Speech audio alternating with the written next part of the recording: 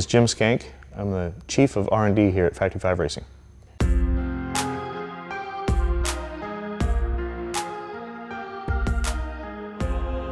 What we do here at Factory 5 is we take factory engineered components, drivetrains, rear axles, braking systems, and build our own chassis around them. So what people get from us is a frame designed in SolidWorks that we've welded in our welding shop. They get a body that we mold in-house, and they get all the parts to take those factory pieces and put them together and get a car. Uh, that really enables a guy to assemble something in his garage using factory engineered parts that is very unique and is something that you can't get anywhere else.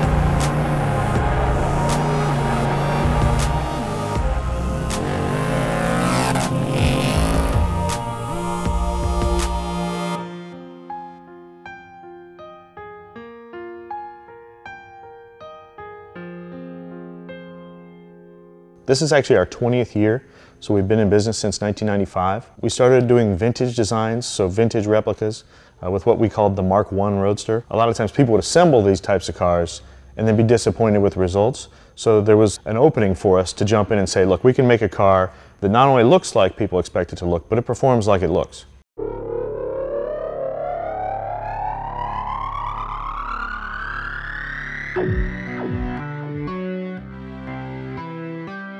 The biggest thing with the 818 for us was we had gradually grown out of the entry-level segment. The cars had become more refined, but at the same time more expensive. Uh, so it was more difficult for a guy, you know, scraping up money to get the money he needed to build the car. And we saw that as an opportunity to say, look, we can do another car um, that's less expensive, still get a guy in the game, and actually, particularly after we kind of looked around and saw, you know, that we could get the weight down, the, what the parts we could use were, the performance would still be there. We were taking a drivetrain out of effectively a 32 to 3,300 pound car. And in order to make the car really perform at what we'll call supercar levels, we had to knock the weight way down. So the goal from the get-go was 1,800 pounds, which is 818 kilograms, which is where the name of the car came from. If you can get the weight down, everything comes up. The cornering, the braking, the acceleration, so that's really how you take a set of Subaru running gear and build a supercar out of it.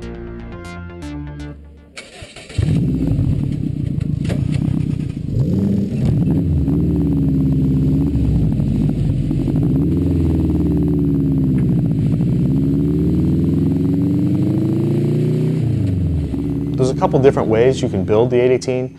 You can use either a standard Impreza, which is about 165 horsepower flat four, or you can do a WRX, which is anywhere from about 227 to 265 horsepower, um, and then you can tune from there. You're talking 0 to 60 in the, high threes because of the mid-engine and the low weight. So you're really, you're taking that horsepower and getting the most out of it. You're really in a, a level that the cars never were expected to be when they were four-door sedans.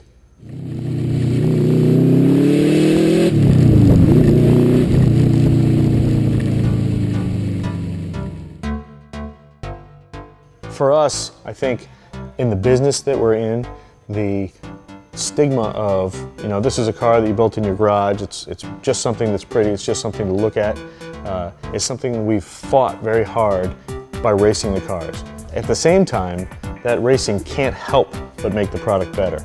You know, you learn where the weak parts are. You learn, you know, where the car handles on the limit and how to make that better. Building a car is a difficult process. It's, it's, it's a big project, so our guys know it's going to take some advice, some help, some pictures at some point. There's no doubt with us, our customers are our sales force effectively. You know, people see the cars more in the hands of the customers than they'll ever see them with us. So it's very important that the guy, when he has his car finished, he's happy. You know, happy with the with the product, happy with the whole company. It's kind of a sense of pride of the guys in there to say, look, you know, if a guy calls with a question, we're going to be able to help him.